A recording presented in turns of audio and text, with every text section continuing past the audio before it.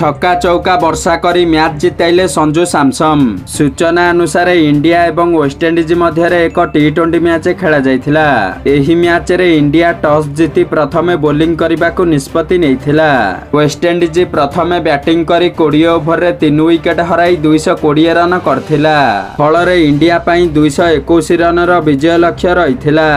ଦୁଇଶହ ଏକୋଇଶ ରନ୍ର ପିଛା କରି ଇଣ୍ଡିଆ ସାତ ଓଭର ମଧ୍ୟରେ ଅଶୀ ରନ୍ରେ ଦୁଇଟି ୱିକେଟ୍ ପଡ଼ିଥିଲା। ଏହାପରେ ବ୍ୟାଟିଂ କରିବାକୁ ଆସିଥିଲେ ସଞ୍ଜୁ ସାମସନ୍। ସଞ୍ଜୁ ସାମସନ୍ ପଡ଼ିଆର ଚତୁଃପାର୍ଶ୍ୱରେ ଛକା ଚୌକା ବର୍ଷା କରି ମାତ୍ର ଏକଚାଳିଶ ବଲ୍ ଖେଳି ବାରଟି ଛକା ଏବଂ ନଅଟି ଚୌକା ସାହାଯ୍ୟରେ ଶହେ ବାଇଶ ରନ୍ କରି ଇଣ୍ଡିଆକୁ ଜିତାଇଥିଲେ।